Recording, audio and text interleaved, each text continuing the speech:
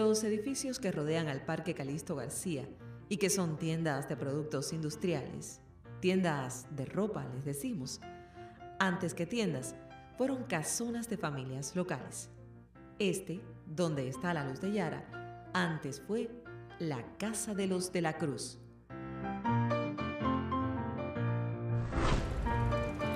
Los de la Cruz vinieron del Camagüey en un momento anterior a la fundación del pueblo de Holguín y aquí fueron dueños de casi todo.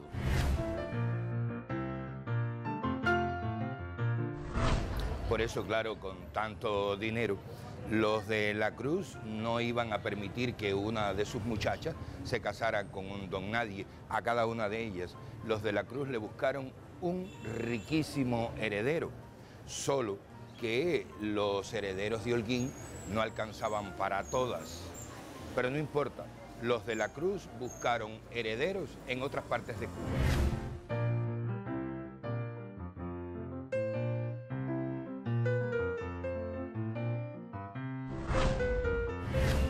En el año 1812, los de la Cruz casaron a su hija María Josefa con el dignísimo joven camagüeyano, dignísimo por la cantidad de dinero que tenía. Casaron a su hija con el dignísimo joven camagüeyano José Aguilera Gómez. José Aguilera Gómez fue la primera persona con ese apellido en la historia de Holguín.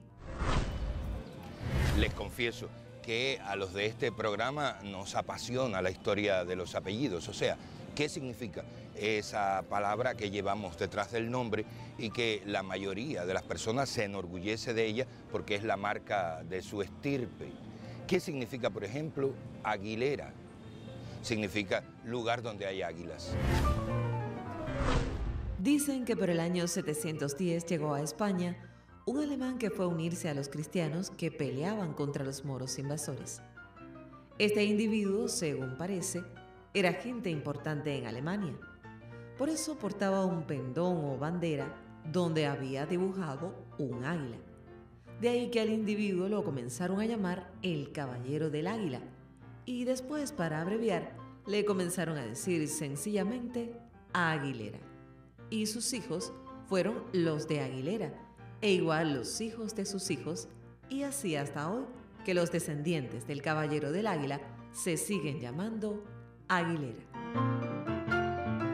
Inmediatamente después que se casaron, María Josefa de la Cruz y su esposo camagüeyano, José Aguilera Gómez, vinieron a vivir a esta casa, la casa de los padres de ella.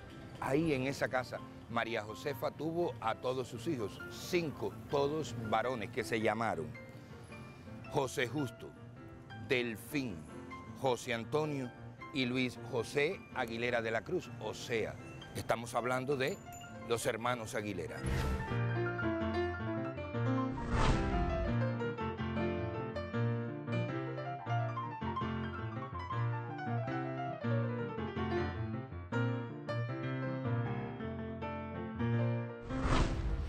Como sus padres tenían dinero, los hermanos de la Cruz estudiaron en el extranjero. Dos de ellos se hicieron abogados en España y un tercero de ellos estudió comercio en los Estados Unidos. Cuando regresaron a Holguín, el mismísimo rey de España dio una orden diciendo que los Aguilera tenían que ser los escogidos para cualquier cargo importante en Holguín. Y así fue.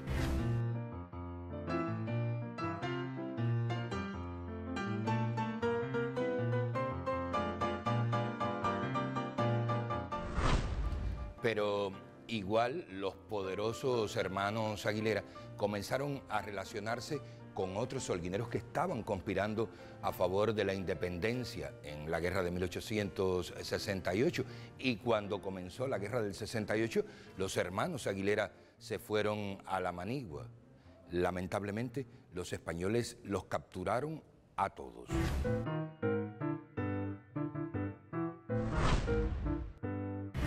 José Justo Aguilera de la Cruz lo fusilaron en Auras, actual Floro Pérez, el día 6 de abril de 1869. Por cierto, es de José Justo, del único hermano Aguilera que nos queda imágenes.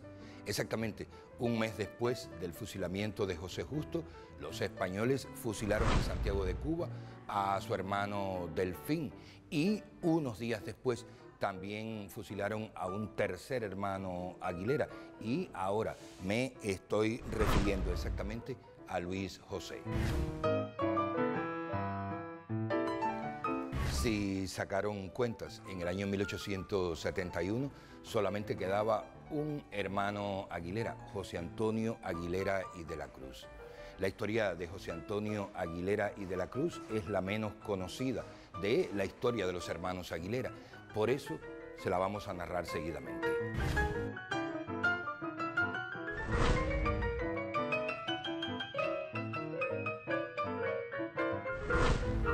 Como mismo sus hermanos, José Antonio Aguilera y de la Cruz fue apresado en los campos de Cuba en armas, pero él tuvo mejor suerte que sus hermanos, o sea, no lo fusilaron, sino que lo mandaron preso hacia España. Y preso vivió José Antonio los siguientes siete años. Lo liberaron cuando el pacto del Sanjón y entonces José Antonio regresó a Cuba. Como las autoridades españolas no le permitían venir a Holguín, José Antonio Aguilera de la Cruz se quedó en La Habana y allá se unió al grupo de conspiradores que estaban preparando una nueva guerra, la guerra que en la historia se conoce como Guerra Chiquita. Por cierto, otro de los conspiradores era José Martí. Recuerden ustedes que la guerra chiquita la mandó desde el exterior el mayor general Calixto García. Aquí en Cuba los conspiradores se reunían. En La Habana específicamente se les veía muy a menudo en reuniones a los conspiradores José Antonio Aguilera y de la Cruz, José Martí.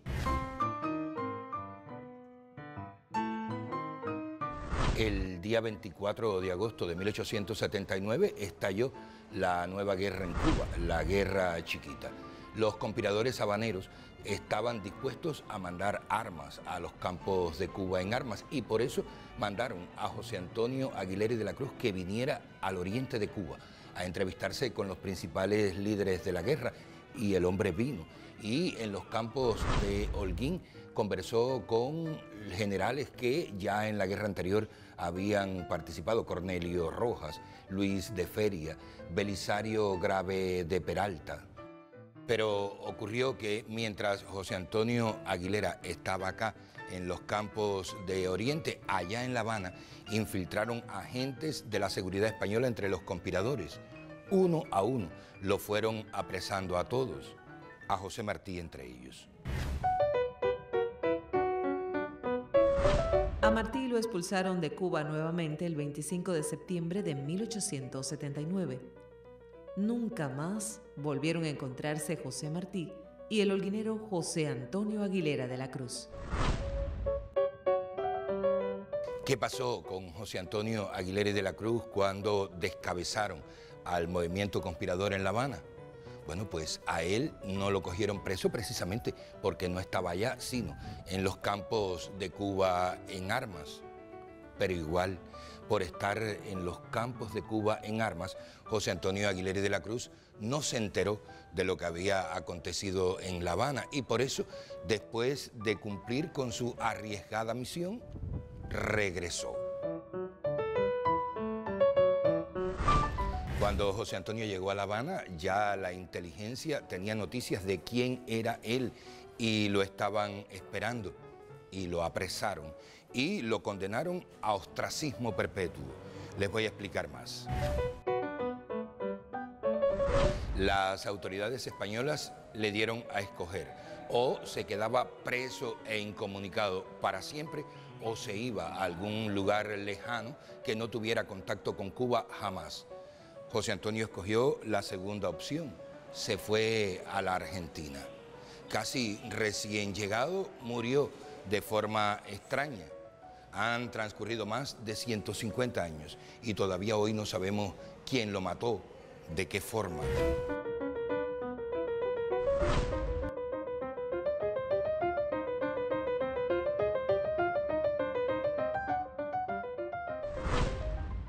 En recordación a los Aguilera, esta calle lleva su nombre.